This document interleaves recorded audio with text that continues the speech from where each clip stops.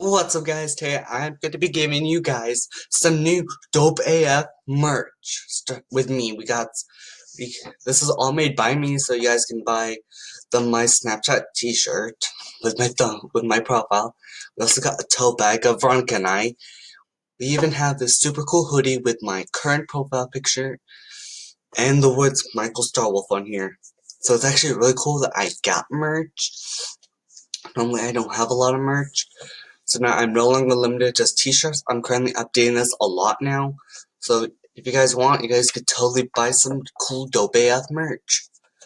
Now, of, now officially at the Michael Starwolf store. It's merch for you and me. So, so guys, please make sure you guys go to the site. There is some cool dope AF merch. If there's something wrong with it or it won't buy anything, let me know in the comments. But please, for the love of for the love of merch, please buy my merch. It's really cool. It's really fun. I don't think there's going to be any pixels, except most likely this image might have pixels. Other than that, it's probably going to be good. I'll update this for a lot.